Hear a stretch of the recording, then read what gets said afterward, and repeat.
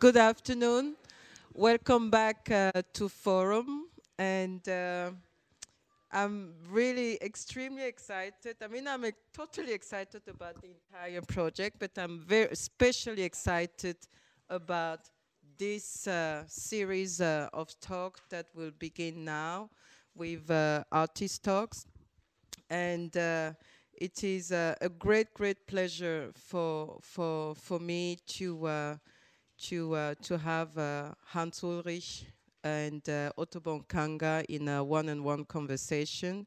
Uh, I don't think that uh, we need to introduce Hans, Ulrich to the to the art world, but uh, I think he's how can I put it, the interviewer par excellence, beyond many things, and it was a, it was a great honor for us when uh, Hans approached me and told me, "Oh, Koyo, really, really, really want to do these talks with uh, with Otobong and with Gottfried, and within the program that you're setting up at the fair. And uh, uh thank you for that because uh, it means a lot to us. It means a lot to the artists. It means a lot to 154." And I think that the discussion you will have will enlighten us even more about the work of uh, one of the most uh, outstanding, I, I don't know if I can say emerging, young or whatever, but one of the most striking and diverse uh, uh, contemporary artists coming out uh, coming out of Africa these days, which is uh, Nkanga. So uh, before I talk too much, I just want to remind you, please put off your cell phones. It's really annoying to have phones ringing during the talk. So because we are recording all this and any ring really just destroys the whole project. And uh, when uh, the, the part is on Q&A, please just uh, uh, just get up and say your name briefly uh, in order in order for for recording purposes and uh, at this point, I think that the information didn't go through to everybody. Uh, Issa Samb was supposed to have a book launch today, or no, tomorrow, and that is cancelled because we incurred a lot of delays in the production of the book. So that conversation and that book launch with uh, with uh, Issa Samb will not take place. Just for you to know. Thank you. But I give it over to uh, Ose to introduce uh, Hans and uh, more in a more elaborated manner. Thank you.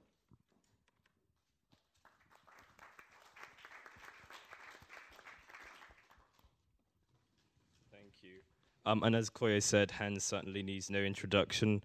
Uh, Hans Ulrich is co-director of the Serpentine Gallery in London. He in in 2012 he curated uh, Jonas Mekas's shows, Thomas Schutte, Figures and Faces, uh, Yoko Ono's show uh, To the Light, um, and also the Pavilion of Herzog and de Meuron, Ai Weiwei, and uh, the Memory Marathon.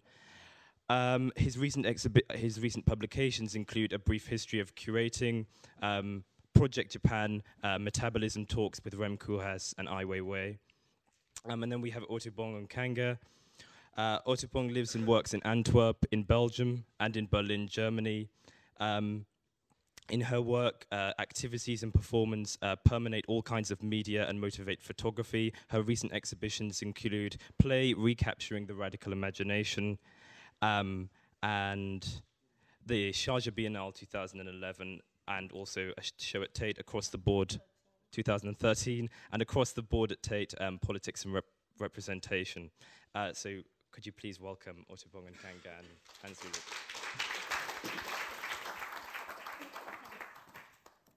Thank you very much uh, for these uh, wonderful introductions. And uh, indeed, it's an immense pleasure to be here with Otobong today. We've uh, seen each other, of course, in Sharjah and um, uh, for the first time, and ever since in different cities. And uh, it was wonderful because with Koyo we have this dialogue for more than 10 years.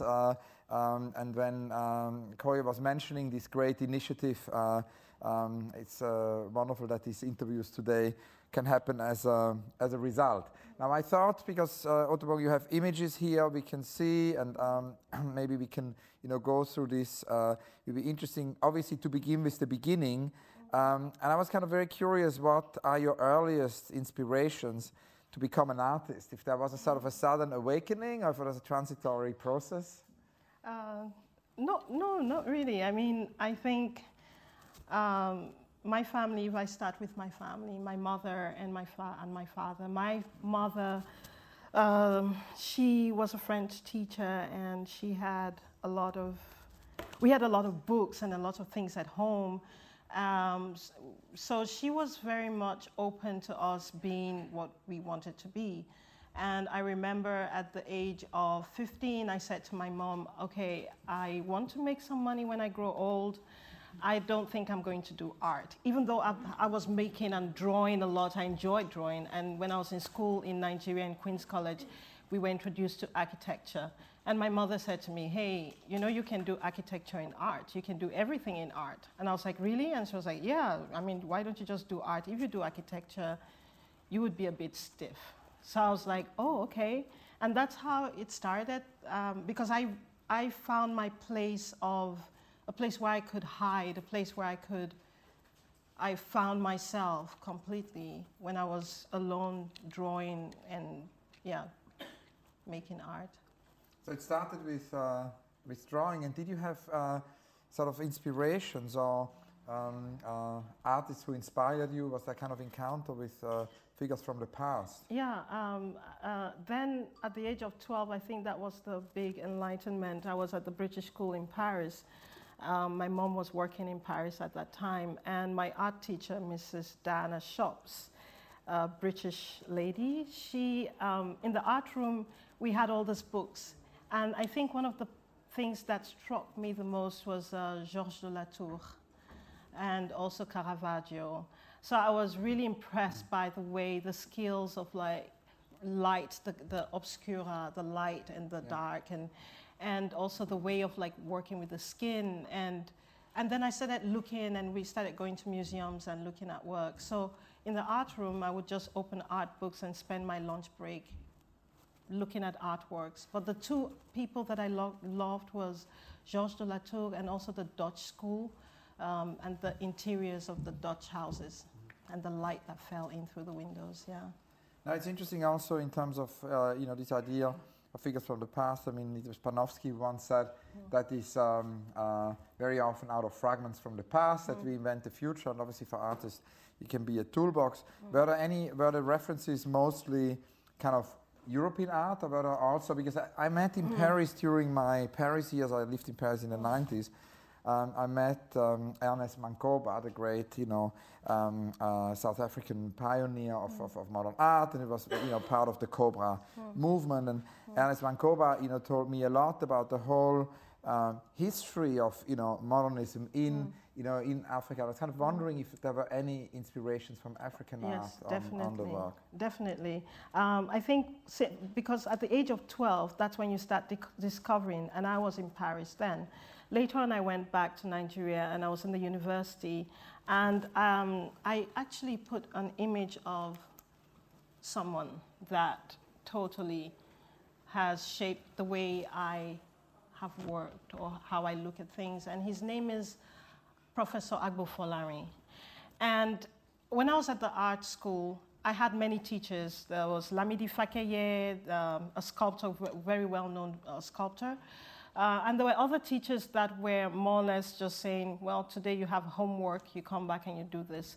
But Agbo Folarin was really special because that's how I discovered about African architecture, about African rocks, earth. He would take us, instead of having a class you know, inside the classroom, he would say, everybody out. And we would walk in the city of Ife, which is the cradle of Yoruba culture, and we would look at pebbles that were made by the Brazilian Yorubas. And when I went to Brazil, I found the same kind of pebbles stuck on the ground. Um, the way the architecture was made, and he would explain the religion, at the same time explain the architecture, at the same time explain how the mud houses were made and why they were made and climate control and African architectural, um, tropical architecture. So he was like the first person that actually made me understand that uh, we were very much connected to the world, not only just we Africans in Africa, but there were a lot of things that happened that affected how we make things or how we look at things. And so that was something that has followed me with my work over, the, over time, yeah. And where would you say, because it's interesting always, I think, you know, where the catalogue raisonné mm. of an artist starts and, you know, thinking about Gerhard Richter, he once told me in the 60s, yeah, the 60s, you know, he thought all of that is student work and then he started to number, you know, that is where my work starts. Mm. Where would you say did your student work end and your catalogue raisonné start? What is your number one in your catalogue raisonné? um, I can't really say there is one thing, but more an accumulation of things. I would say when I was at the Beaux-Arts in Paris that um, I, I, was also going back to Nigeria at the same time. During the holidays, I would go to Nigeria and follow the courses in yeah. Nigeria with him. And so with the first work that I think that was really important for me was called Fattening Room. That was the first time I could relate to something of my culture, which, was the, which is the Ibibio culture, with the idea of fattening the woman to become beautiful. Um, and at the same time, looking at people like Fatih Hassan, um, Zaha Hadid, um, um, Demas different kinds of architects from the continent itself and trying to understand what it is to find home. The idea of fattening, the idea of becoming someone else in the process. And so that reflection started taking place. And the first work that I think ha has a very big impact for me is the work called Fattening Room, which was made 1999, and I was still in school. And do you have images of that? no, because later work? Um, I have mainly the work of Sharjah because yeah. I thought we'll be talking about that. I yeah. didn't put everything together. No, no, we can go fast track to your early work and then soon, and then soon get to Sharjah. and I'm sure you can then all you know see these images on the on the internet later. Yeah. But the thing is, I mean, one of the things I was wondering also is when then performance art entered because you know seeing your work in Sharjah, mm. uh, this sort of long durational performance. I was wondering, um, starting with drawing and then architecture when or how you discovered that actually performance art is a form you wanted to explore, and if there was an epiphany for that, or mm. a sort of a sudden. The, the performing arts, I mean, um, has always been there, uh, but I never considered it as performing arts. Yeah. I always tell people that born in Nigeria, living in Nigeria, you, my, the performance is everywhere. That is my stage of, that's actually where I learned about performance where you actually um, shift and become two persons at the same time, where you have to be immediately present. You have to be constantly present nine, from in the time you wake up till the time you sleep.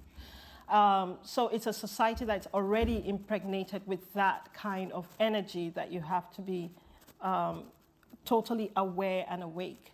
Uh, but later on, I think when I came to uh, Paris, I then realized that, oh, there is this thing called performance art. And for me, I just saw it like, well, it's something that should be, I didn't see it as anything special somehow. Um, but I realized that I could perform. I realized in church we sang in the choir. Um, you, you're constantly performing. You're constantly um, but then to take it into an artistic level came in with the work of Fattening Room because the making of the photographic work at the end, the Fattening Room was a piece that was made out of um, mud, um, clay, and every day I built a ring around it, and then finally it was like a little hut, almost looking like the Meninas de Velasquez, and I was inspired from that. And then I sat, I put myself in it, and I made a costume, a very classical 18th century costume. And, and I performed for the camera person that would take the pictures, and they took over 80 pictures. And from those pictures, I chose about 18 to make the final picture. So that was more or less the first time that I could mix my ideas of architecture, sculpture, um, costume making into performance, and finally into a photographic work. And listening to that, I was also wondering about the research because I read an interview with you the other day where you say that it's the quest to the unknown yes. that triggers your work and you very strongly research when creating work and I was wondering if you can tell us a little bit about the research behind these projects in art but also other disciplines. Hmm. Um, the research, I think that's very crucial. I think uh, today and today's time, it's not just enough to just make a work and then put it out there because people ask you questions. People interview you. People ask you, what are you doing? How are you doing this? And the research comes with also trying to understand myself, try to understand my background, where am I coming from, where am I going, how am I connected to the world, so that wherever I go, there is something, a place of interest, there's something that connects me, there's something that makes me understand why things are. And I think the more I dig, the more obscure it becomes, the more difficult and more um, it shows other routes that I can't understand. But that for me is very exciting because the more I don't understand, the better it is. That means it gives me the possibility to insert my own fiction and my own way of like looking at things that have already been written by others, but sometimes not necessarily the truth. So um, the aspect of research comes with like finding my place within the things that I am, am involved in. So like for example at the Weltkulturen Museum, I uh, worked behind the, I entered the collection of the museum and I specifically wanted to work with the African collection because we always say Africa, but it's huge. And already in Nigeria to already understand Igbos, Hausa, Yorubas, mm.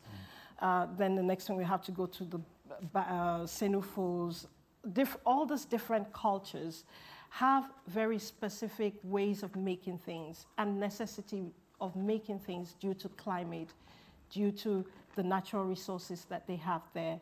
So for me, I start understanding why certain things were made, why certain um, situations are today, the political situations, the economical situations. And these are things that you know, indirectly and directly affect me. So however I'm going to position myself in the world, I need to understand where I'm coming from, one way or the other, to be able to position myself in the present. And when you do this research for each piece and so on, so it's like, I can say permanent research, mm. how does this produce archive? What's the notion of archive in, in your work? Is there such a thing as a kind of an atlas? Gerhard Richter would call it the atlas, or is, is there a kind of a, an idea of, a, is it an image bank, or is it, uh, is it just, is your laptop your archive, or how? there are different things that are archives. Um, they are stories that people tell. Um, so sometimes I film uh, people and they tell me a story about something. Uh, for example, at the Weltkulturen Museum, there was a guy selling objects that were the same objects we could find them in the museum. And I filmed this guy and asked him about the objects, where he got it from. And the stories kind of give another narrative of how the, the, the parallel market happens in relation to how what happens in the museum. Um, there are other ways of archiving through drawings. I think drawing is a very crucial thing because sometimes I can't really put things in words like text. I like talking, but I don't like writing. I think my brain goes a bit too fast and my hands are too slow. Um, and drawing seems to be the best way to like throw out that. Images, also collection. I think, for example, what I did mainly when I was like in year 2000, 2003, 4, 5, I was doing a lot of archiving through photography. So I went to Nigeria, all the different places I went to, I made a lot of photographic work. So the earlier works show like Emptied Remains, the work Emptied Remains, or Strip Bare, or Road Series, for me are more or less like archival and observatory work. Um, they're things that you, with your, with your camera, you take pictures, you really feel an emotion towards that space. And I showed them as photographic works, but they were more or less think, um, images to think with, images to be able to process and to understand the acceleration of what's going on within the continent uh, because I'm not there. And in many places I go to, and sometimes I find incredible similarities. So the archive is on many levels, and also with the body, registering certain things that are related to performance, working with other people, the body registers, as, uh, and then that is also a kind of archive within myself. I can bring, up, bring out that gesture when it's needed to come out. Yeah. The body as archive obviously brings us also to, to memory, and uh, you mentioned memory in, mm. um, you know, some interviews, and John Berger, you know, talks about the connection between drawing and memory. Uh, Rem Koolhaas says, you know, we think memory obviously is more memory in the digital age, but maybe it's actually the other way around. It's just kind of more and more information. Mm. And maybe amnesia is very much at the stake of the digital age, and maybe that's the reason why memory is such an important topic in art, mm. ever more so than ever before. Mm. So I was wondering if you can talk a little bit about, about memory or that sort of whole idea of Eric Hobsbawm when he says a protest against forgetting. What's the kind of role of the protest against forgetting in, in the practice? Um, it's a lot of things. I think one of the first things was being in school, in university in Nigeria, going to the library and trying to get a book to read about Nigerian artists or other artists, or about the history of the country and, and realizing that the library has nothing. has like a few books hanging in the shelves and you're in the in a university and you're looking at the shelf and you can't find anything for research. And that really struck me already when I was at the age of 17 or mm. 16 that I was in the university, I couldn't find anything. So to be able to understand my the history or to be able to understand certain things that had happened before, it wasn't possible only through friends or families or um, and then my, my own, my mother, my father, they, they, they were deceased. So also my own family history also becomes very obscure. I can't get back certain stories or what happened before they got married or so for me that has always been there's always been a black hole somewhere of not understanding um, and also things that happen in your life. Your house gets burned. All the family photos from your childhood all gone except for one picture. Also, the entire archive. the entire archive. So in 1977, our house got burned, and the only thing that came out of my, the house was my little brother, and everything else was erased. So I don't have pictures of my childhood. I only have one picture that of my sister, my brother, and I and there's one picture of my dad and my mom when they got married, and that's it.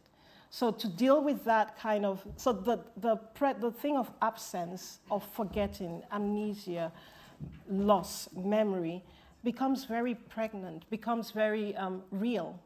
And so I think with that, it's, it comes with also trying to understand your own process, trying to understand the past, trying to make, put a puzzle together and, um, and I think with different works, for example, the work that I did in Belo Horizonte, um, uh, State of Amnesia, and there was another work I did at uh, the first Biennale of Arts and Architecture um, in the Canary Islands. That was State of Amnesia um, before, no, oh, I have to think about that title.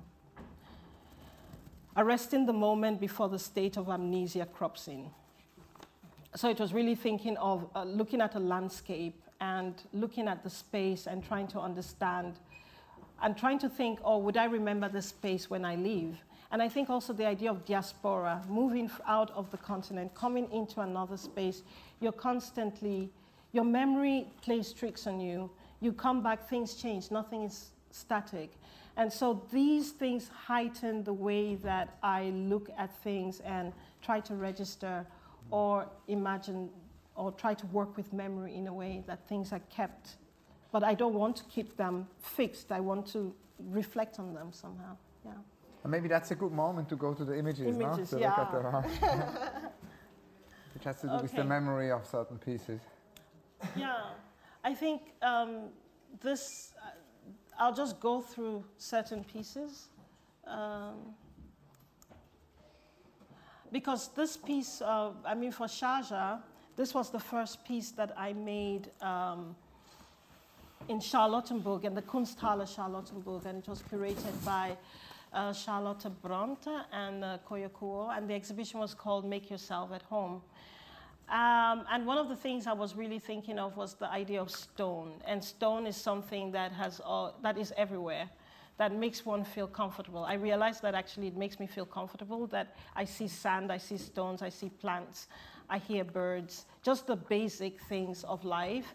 And so I decided to make a piece that, that had, um, these are prints on stone, digital prints on, on Galala stone, Egyptian flat stone. So when you look at it, you really think there is a stone, but actually there isn't. So it was also looking at the idea that something might, at the end of the day, when we dig through archaeological things, we have this remains of something that tells us about the past. Um, and here it would be more or less, let's say, a digital print of a stone of something that was of the past or that is of maybe a possible future. And here there are six tables with like po a poem and an image. And I think this one is called Protect. And it said, if my breasts were made of stone, I would walk around and feel something about being strong and because then my body can resist to whatever things that hit against it. Um, and it's obviously got to do with natural resources, I suppose, oh yeah, definitely. because there's this great text um, I read this morning by Philippe Pirotte, who really yes. talks about your entire work somehow connected, not to this yes. idea of natural, natural resource. resources and excavations, and but at the same time, I wanted to have a space where people can actually contemplate the materials that are in the space, the stones, the plants, which are epiphytans. These plants don't need any roots, but they can survive with humidity, and the ground is made out of gravel and magnetite, a kind of um, concrete thing used for concrete uh, building, making buildings, and it's quite heavy. And here you are ready because that's obviously the piece which anticipates Sharjah. Yes, totally. Because you had a similar kind of situation there. It was outdoors. It was yes. like a garden. Uh, but was here in 2010, was there already this long durational performance? There wasn't any performance. No performance the, the idea of this piece was just to have two rooms where the people could actually relax, sit down in the exhibition, look at the work, read the poems, look at the images. Um, so uh, here, there wasn't any idea at that point in time of performance, but people actually been performing in the space. Uh, and so when I came to Sharjah, um, and working with uh, Yuko Hasegawa, the curator, I found a space that was amazing because once I got into that space, it triggered a lot of things. It brought me back to my childhood, which is quite strange to be in the Emirates and then you're thinking, oh my God, I feel like I'm home, which has nothing to do with home. Um, it was a, magical courtyard. Yeah. Yes, it, it was an amazing courtyard because it was the only courtyard that had a tree in the middle and had, because we had to look around the whole space to find, all the artists were shopping for a space. So we're like running and say, have you found a space? Yes, no. Oh, and then you run because you have to get the space before the other person. And when I found the space, I told the girl, now let's go and see the curator, now. And 10 o'clock in the morning, we went to see Yuko, and I was like, Yuko, I found I've fallen in love. And Yuko was like, in love? And I was like, yes, in love. I was like, in love with what? In love with the space. And then she was like, oh. And then I told her about the space, oh, and she said, oh, that's my favorite space. So she said, you can have it. And then I was really happy because I already knew what I was going to do in that space. By just entering the space, I saw it. So um, but I did not know a performance. I just knew that it would be a place that I want to have as a place of contemplation. So when you look at this space, normally you just have a tree and you'd have bricks on the floor, like um, just normal bricks. And here I wanted to have, um, I went around the city of Sharjah and I asked, I looked at what was there and the white gravel comes from Oman and the rocks, the black rocks you have here they come from the Fujairah Mountains. So I wanted things that were really locally found in Sharjah. And the other little blocks that you find here are stones that have been printed on.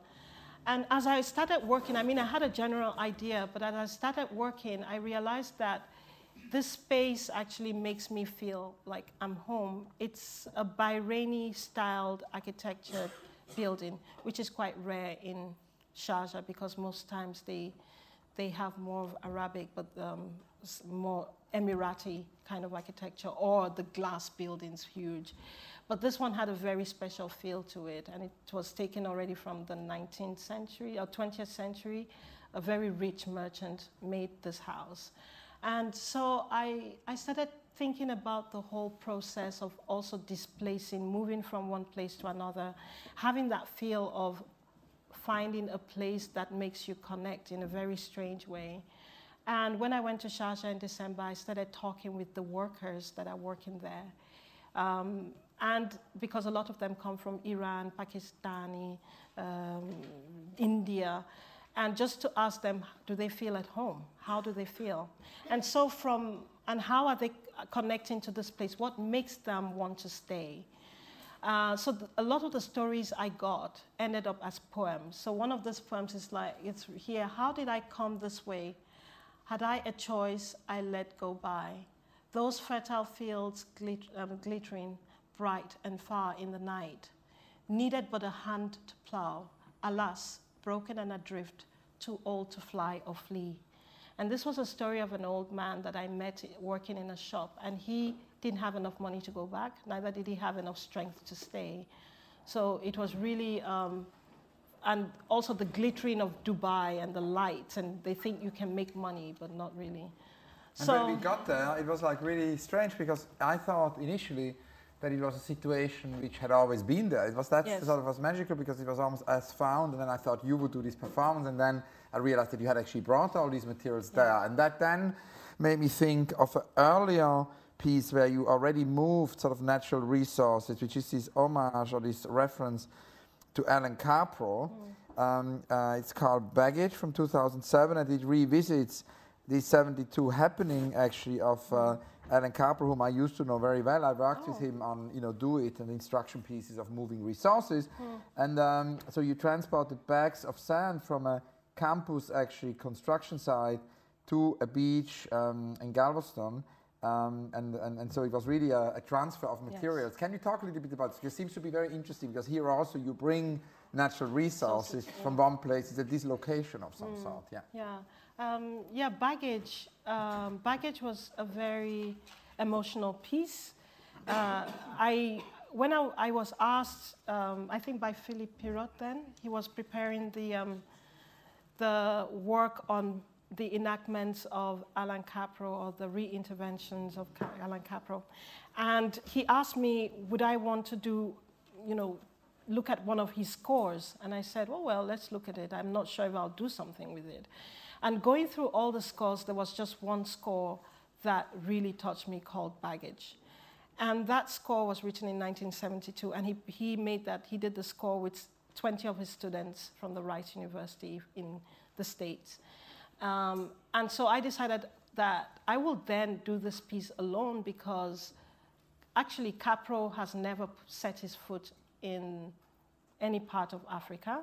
And I thought, well, since there's going to be a kind of collection of the work with his estate, it will be the first time to connect his work with my continent. So it was a way of like saying, okay, I'm going to do baggage. I'm going to take the sand, because the whole score was taking sand from, the, uh, from wherever you take sand.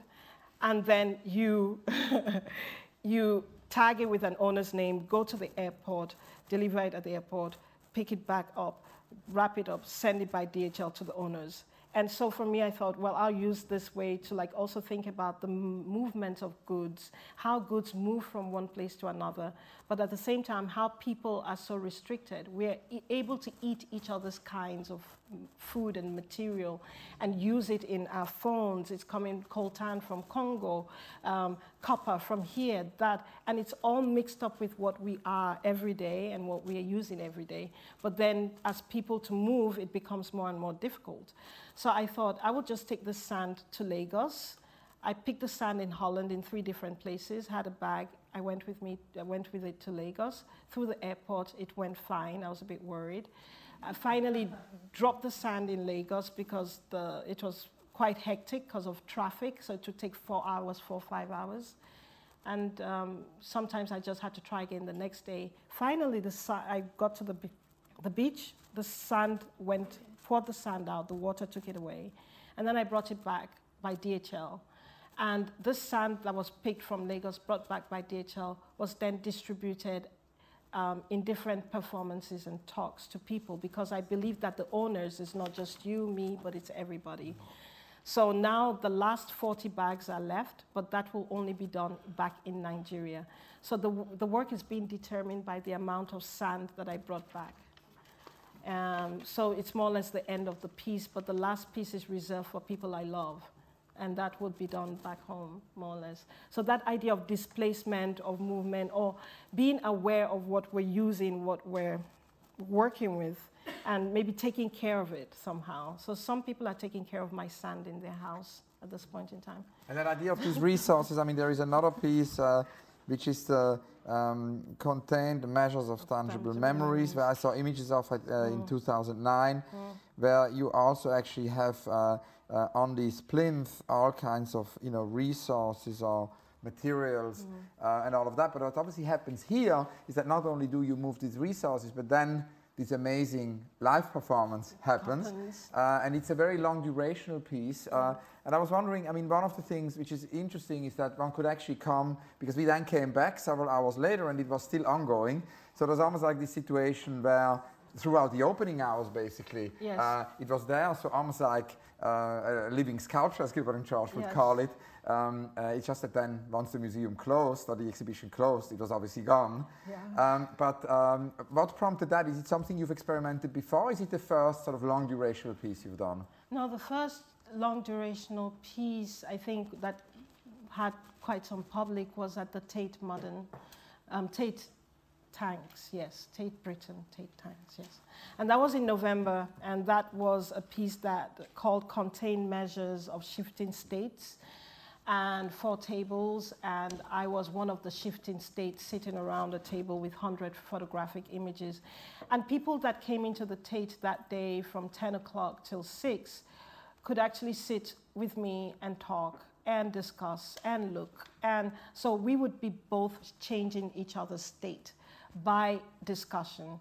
Um, because the idea of the work was about politics of representation, and I don't really believe in that idea of politics of representation, but politics of flux, of how things move from one to another, and we don't exist alone, we exist with other things and other people around us.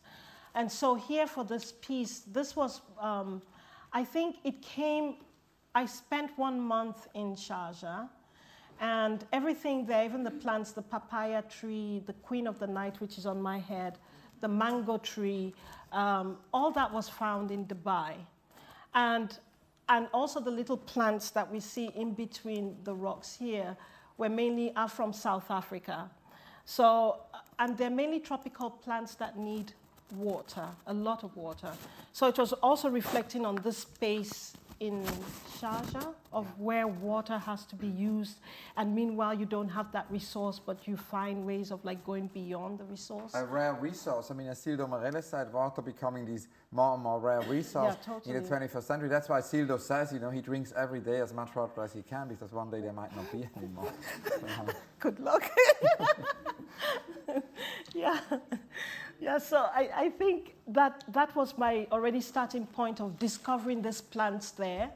And these plants were also part of my childhood, like really the pa- papaya tree in, behind the house, the mango tree next to the house, um, the queen of the night. Every night I smelled the flower at night. So when I found them, I was quite excited. It, that also tightened and shaped, shaped the work that I was going to do there. And so the performance came by just being with these plants.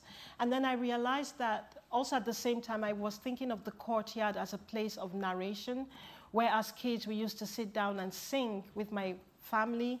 And when there's no light and when electricity has gone, you would sit there all night and sing in the dark.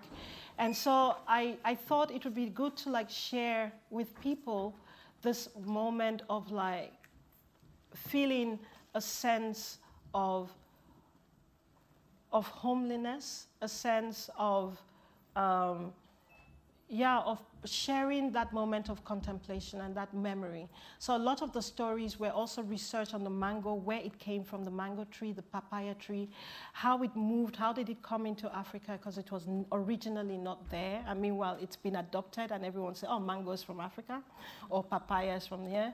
So it's like this kind of displacement and how you've kind of integrate. So the whole work was really thinking of very different poetic or different ways of like thinking of integration through plants, through stones, through all the elements that were picked from all the different parts of the world coming together, plus people coming together and being part of a moment and part of a moment where we all are connected together at one point.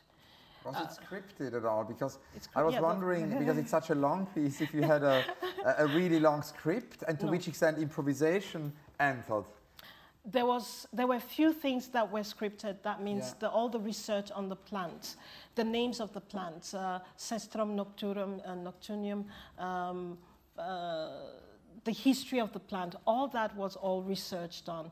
Uh, Ratrayani for the Queen of the Night, Queen of Jasmine. You know all the names, all these things were all researched, and that was all planned. Certain songs were planned. Some songs that my mom sang as I was as a kid that made me really happy. Um, some things were really planned. Also, for each plate on the ground, there were names of things that I could then talk about. An air plant. What is an air plant? So I'll do all my research on the air plant. Um, but then the other parts where the improvisation with the public, where people had to vote. What would you want? Would you want a dance or song of the plant? That came through interact, interacting with people. Um, there are certain things that I didn't plan, and also when you get to a point of beyond where you can control your body, then I think at that point in time, you more or less feel the public going, coming in, and you, you can share a very intimate moment with a person because you feel this person, there is a kind of connection that is happening within the space. So not everything was planned, and of course it's nine hours. I can't plan nine hours. Mm. I improvise nine hours. I, I work with others. I, I search for the strength of others mm. To make it possible to move on. Now, one thing I'm interested in also in knowing more, which I wanted to ask you in Sharjah, but then we didn't have the occasion, so I wanted to ask you today, is this idea that in your long duration pieces, like the piece you describe at the, you know, in the tanks, at the Tate, or the piece in Sharjah, it's obviously you performing um, uh, with other people, but mainly you performing, and you are present, the artist is present. Uh, now, there is with a lot of you know, long durational work, um, a notion of delegation or a notion of um, instruction where the artist basically can be an open scar, but where the artist basically takes on board, you know, other people, and that's how the piece then can be there almost every, or can be there every day at museum hours, and that's, I mean, obviously something we've all experienced with, you know, pieces of. Uh, of, um, of Tino Sehgal, but it's something yes. already very early on. You know, for example, you have it in early Bruce Nauman pieces, that possible loop that Yeah. Performative piece can be there forever. Uh, and it's something which, for example, Ionesco, I, one of the, my earliest childhood memories, I met this you know, playwright, Eugene Ionesco, in the streets in Switzerland in a chat, and then he basically told me you know, that his play had been performed for more than 40 years, the bold you know, singer, La Cantatrice Chauve, every single night in Paris. So he said, you know, somehow it's almost as permanent. It's probably more permanent than a public sculpture, which has been removed after 20 years because people didn't like it anymore. It has always been there. So, and that obviously also worked only because, you know, he had written the play and then different people every night would, uh, you know, would do the plays. I was wondering um, if that is something in your work, either present or potentially present, or if for you it is essential to be present yourself. Um, that's something that I've had uh, some issues with. How do you say? On how do you how do you transmit knowledge of all what you've accumulated, or because, for example, with the piece um, contain measures of shifting states, I'm in there. I chose hundred photographic works, but I was thinking. What if that space is always shifting with different people, like uh, a neuroscientist to a botanist to, how would they interpret and the hundred images that are there? Would they have the possibility to discuss and to talk from their own point of view um, with people? So these are things that I'm trying to see, like with the performance. I have my own knowledge, I have my own research, but I'm also interested in how can this be, how can this be given out to someone else with a specific knowledge or a general knowledge or broad knowledge of things. And so these are things that I'm looking at to see how possible I can work with that. So far, it's been very much coming from an inner um, uh, quest and inner research, but slowly and gradually, I think in the next piece I'm going to show now in Germany at the Maxim Gorki Theater, I'm going to be working with four dancers, and here it's more or less, I, I give out the work for them to do it for four hours. And so we'll see how that works out. But in general, it's, it starts with really a hunger inside of me to, um, but I'm starting to look out to see, because then the question is, what happens after? What happens if something happens to you tomorrow? How does this work continue to live? How does it find a place where people can get that experience, but maybe not, the, it will never be the same, but a different experience. So I think the installations, I started making installations of works, and now I'm really thinking of installations, performance, and how to open it up on another level. But that's, that takes time. No, that's interesting, and it obviously means also that it can be both. It doesn't have to be an either-or thing. I mean, Yes. like as one could see in Klaus Biesenbach's, you know, the curated this uh, retrospective of Marina Abramovic, and then, you know, there was her presence, the artist is present, yet presence, at the same time, in the retrospective part, you had all these pieces where other, you know, people actually um, read it, so as to say, the, the piece. So it can be can be both. But one of the things I was also curious is that in the earlier photo image, we had this handwriting, and when I arrived, one of the first thing I saw, you know, was obviously this panel with the handwriting, and it's something which also appears in many of your drawings, the sort of mm. handwritten text. And um, Umberto Eco said the other day that you know handwriting is about to disappear, and if we speak to like you know if we look at many teenagers now, they barely use handwriting because obviously it happens all on a computer. There is a whole movement now to reintroduce handwriting into tablets, so that maybe there's a new life for sort of handwriting. It doesn't disappear. What's the role of that sort of idea of of handwriting in the in the practice? Um, I think it just comes in very like. I'm not going to make anything big out of it, but it's just the thing of you can immediately erase, write. It's it's it's um, it's instant. It's there. It's um, you just like I, I still I have a diary. I don't put anything on the computer. I write on my diary. If you look at it since 2010, you would have every single thing Wow. my budget, cost of work, people I work with, everything, everything is organized and it's all written, Tipex written, drawn, everything. My doodling is there, ladies' faces. So it's just part of, I'm, I'm from a generation that wrote. The computer is a nuisance somehow. When I have to write an email, it's hell.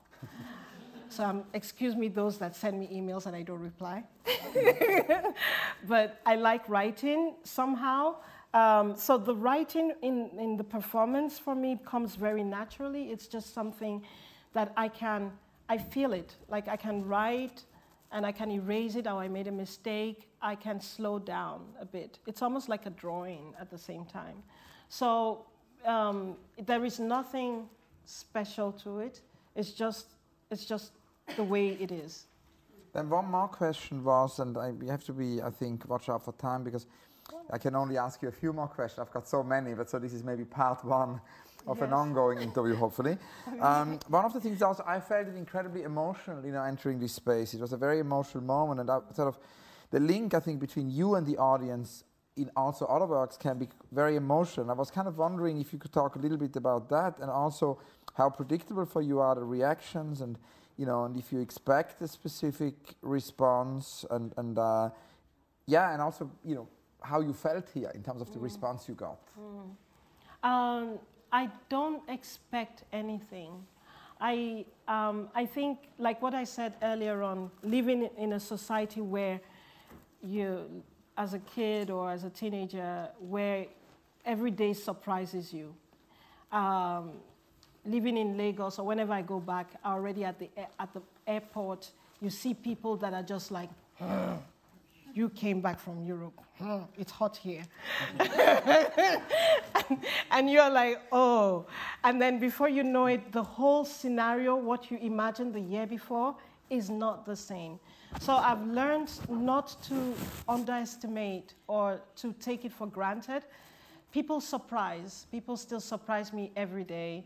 Um, and I hope I will still be surprised. But I, I don't expect, I'm not, I don't plan it.